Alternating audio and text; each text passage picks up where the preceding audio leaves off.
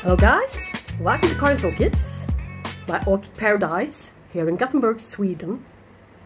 This is going to be a care collab on the gorgeous Cattleya purpurata.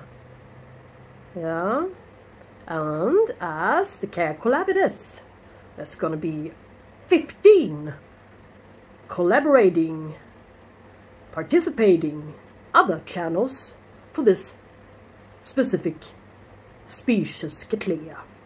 And I'm gonna put up a pop-up with the names. So you can see for yourself who's gonna participate this time. And um, I'm gonna put up links to the channels in the description box below as always. So, that's how we collaborate. Visit each other's channels and see if we can get a little bit of tips and tricks and this and that. You always learn something even though you think, you may think, that your way of doing it is the very best. But, well, you may be wrong, sometimes. So, here's part of my living room area. the fog goes on. Well, I don't know why it's really, yeah, it's needed. No, it's not. Why is it on? I've got 76% humidity in here. Since, since we had a really, really rainy day, and night for that matter, with some really high temperatures, about 30 degrees, all sweaty this midsummer weekend. But anyway, it's good for the orchids, sweaty for me. so, let's talk about what we're here for. The purpuratus. Actually, I keep all of my huge cattleyas and, uh, yeah, a huge epidendrum, Stamfordianum to the middle, the largest one, uh, here in my largest window. Here in the corner, I actually have some purpurata crosses. this one, I just want to show you, why not? This one is called Cattleya vinosa. It's from Orchid Garden in Poland, and it's a cross between Cattleya roebling, uh, C.G. roebling, it's, yeah, it should be, and Cattleya labiata. And C.G. roebling has got purpurata in her. So, this is a, yeah, it's a huge-sized purpurata cross as well. Good growing orchid in semi-hydro a good new growth down there. Yeah, I wonder when this will bloom. I had it for several years now. And what you see here is um, tissue damage from um, having her wet and exposed to a little bit too much sunlight. So she, the leaf actually burnt. Yeah, doesn't look all that great, but this one is going to be a lovely, lovely, lovely flowered one when it's time for it. It's quite huge now. No blooming yet. But anyway, behind her, I can lift her down so you can see for yourself a little bit better. Ooh, whoop, she's heavy as well. Uh, back here, oh, why not just show show all of them to you? Doesn't matter. Uh, it's a little one. I had this one since uh, all the way since it was a seedling. It's the LC elegans. It's also a purpurata cross uh, primary hybrid cross. It is. I will put up uh, a pop-up with its uh, parents. Yeah, name of its parents I forgot. But yeah, it carries the most lovely blooms. So gorgeous. And it bloomed for me a couple of times now.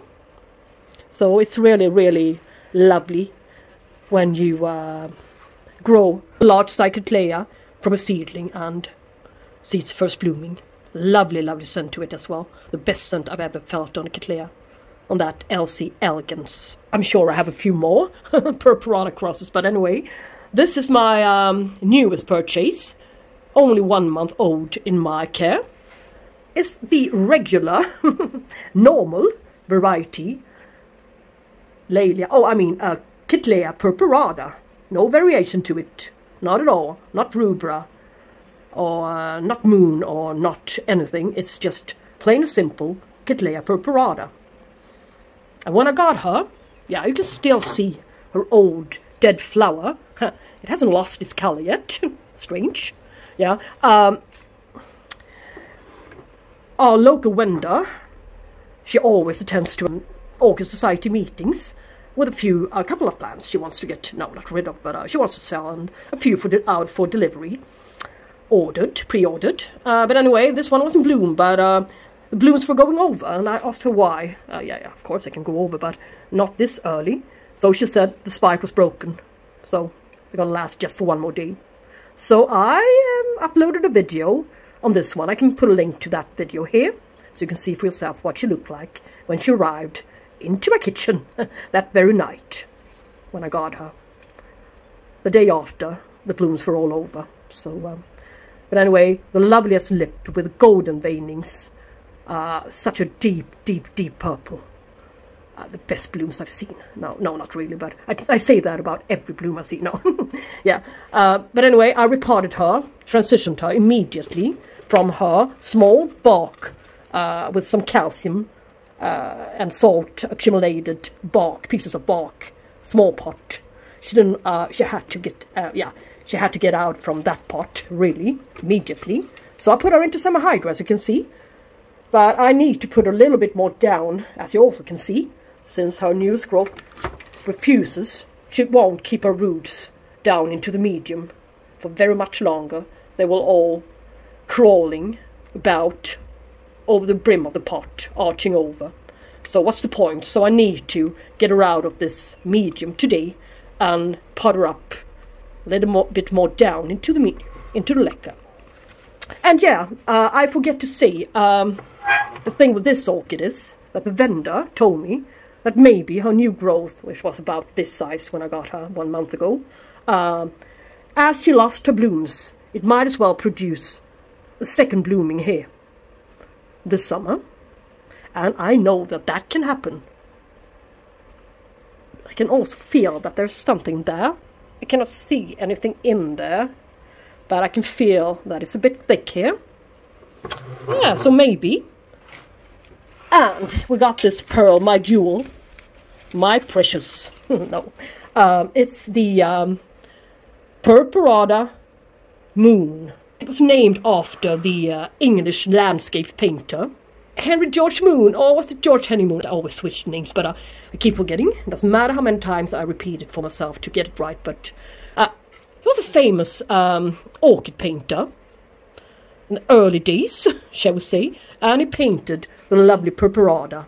So this one got his, yeah, it was named after him. So this one has the variation called Moon and I'm really proud of this one. I had this one since October 2016, and it's been sitting in semi-hydro uh, the last last year, I think.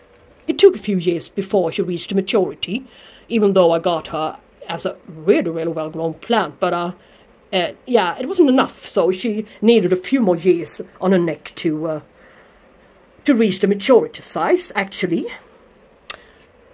So she had to reach this size cane in order to be able to bloom. Yes, but now you wonder, this cane has also bloomed. Yeah, just like as for this year. Yeah, she created a small, tiny, little scared uh, cane, even this year. And it bloomed in August, late August, and that's surprising. She usually blooms in uh, early April to early May, yeah, somewhere uh, around that time. So she lost her schedule and blooms from every new cane. She won't skip this blooming either. We will see some Purpurata moon blooms in August or perhaps July this time, you may never know. I usually keep these guys outside during summertime on my balcony, but the nighttime temperature has been so very low lately, uh, around 10 degrees Celsius each night. So, um, yeah, I didn't dare to bring them out. And the sunlight, the sun rays, will hit these new fragile, uh, not mature leaves and uh, mark them for life, yeah. So I don't want it yet, but uh, in one or two weeks perhaps I will bring them outside, but they still need the light in order to develop these new guys properly, so it's better to wait and put them outside a little bit later on, I think. Um, the species is, uh, yes, you all guessed, I believe, an epiphyte from Brazil.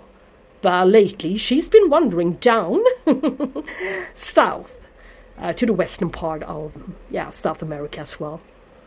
grows on old trees. Yeah. Yeah, but she can also grow in leca beads. Yeah, she really can. Yeah, I was hesitating a little bit since she's suspicious and this one didn't carry any scale. Since a scale infestation was the re real reason why I put most part of my Cattleyas into semi-hydro. But yeah, it's proved to be kind of efficient. Look here. This Cattleya creating a couple of new growth this year. This one as well. It's not bad, it's working. You only have to be persistent. And don't change your setup just because it doesn't work out immediately the way you wanted it to be. Yeah. But on the ones which has been selling in semi-hydro for at least one year, not producing any roots, I will have to consider another setup, but uh, that will be in a later video. Alright, follow me into my kitchen. And according to my little nose, she usually blooms about 19 days. 19 days each time, yeah? Without exceptions. Yeah. And she's also brilliantly scented. Lovely scent to this orchid. Yeah. Uh, and she can grow as tall as 100 centimeters. So, this one is about halfway up my latest acquisition. This one is. I haven't seen this one so much, so uh, I figured that we would take a closer look on only this one for today, since I know that there are going to be a few more updates on the Purpurales hmm, in the future. Yes, so unfortunately I will need to get her out. As you can see, no water to the bottom here. Why is that so? Well, it's because I don't want to give a newly transitioned orchid a uh, huge, deep water reservoir for starters. Yeah, of course, the roots will eventually die off, yeah, yeah, yeah, and be replaced some new ones, which will adapt into the leca beads setup. But, uh, but if it doesn't happen in a rapid pace, yay, what can happen instead? Well, it won't go downhill as fast as it could do, so um, it's much better to only flush it the first couple of weeks. Yeah, but anyway, I know that there will be a couple of dead roots down here already. So I'll I'll make a proper cleanup on her.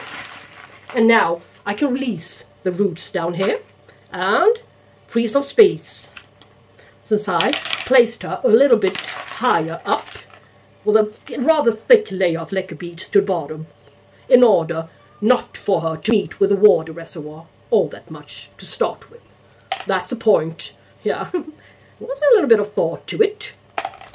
But now I have to clean her up a bit. So, and do it properly, one month later. So, maybe you won't have to look at this, but uh, as you can see, dead roots down here. So, I would just clean up as much as possible. I found a few pieces of uh, old bark, which I couldn't get rid of peel off last time. That was so tightly stuck to the roots inside the bowl.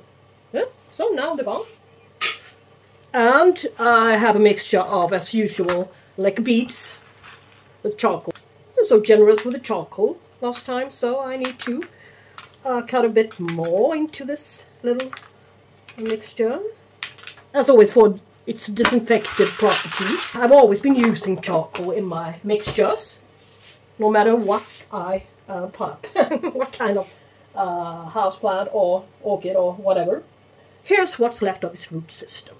Not so bad, really. Um, yeah. As you can see here, it's already a bump, a little eye, to her newest growth, which is really growing fastest, the speed of night. Yes. And her second growth here. Yeah.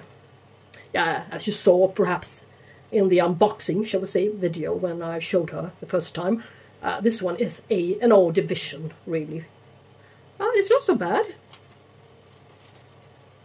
But anyway, let's pot her up again in the same um, in the same pot, same size. A little bit of this to the bottom. A little bit less than last time. so let's prepare some space. Yeah here and there. So there's not going to be anything created from this one. Never, ever again. Perhaps he has a little eye, but that won't happen. Look at it, yeah, thrivered up one. This hasn't got enough energy to pr produce anything, so yeah, it's gonna be here. And I need her to go down a bit more. Otherwise, this uh, cleaning up repotting will be in vain without any purpose to it. I mean, what's the point if it's not going to be a better result? So, now, now, she's down a bit more into this pot. So the roots will search their way down into the leca and not outside. But there's still a decent layer of leca beads to the bottom.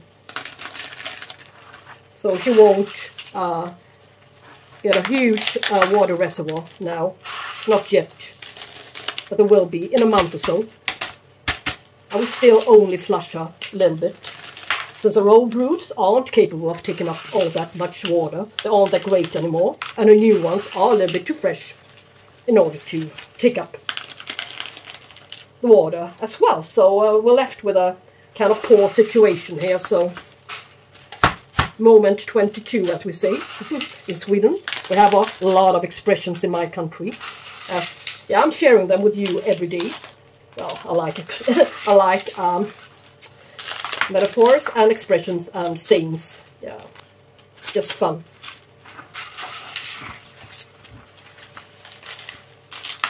So, let's not cover the new growth all that much. And, uh, yeah, this will be great. And as I clean, clean the leca off, the grey wool landed to the bottom. And the grey will make sure that the uh, the water, or shall we say the moisture, stays a little bit longer inside the pot. And so it keeps the surface a little bit more uh, damp in a way. Yes, strange, but uh, yeah, it really happens. So let's stake her up now. I can always redo this staking a bit later on. Um, it's just that I need her to establish her new roots down there. Real good now. Now we saw a cleanup recording on the uh, Laelia, no, I mean Cattleya purpurata. And maybe, if she gets into bloom, I will of course show you the lovely bloom. When that happens, which I think it will since she lost her blooms.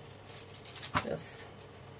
Either she will rebloom or she will create a new growth faster and earlier than she normally would have done if she lost her blooms.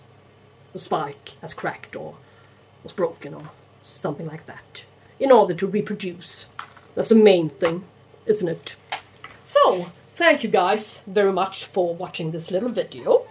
Uh, I will put links to my previous two, I think there were two previous Care Collab videos on my Laelia Purpurata Moon.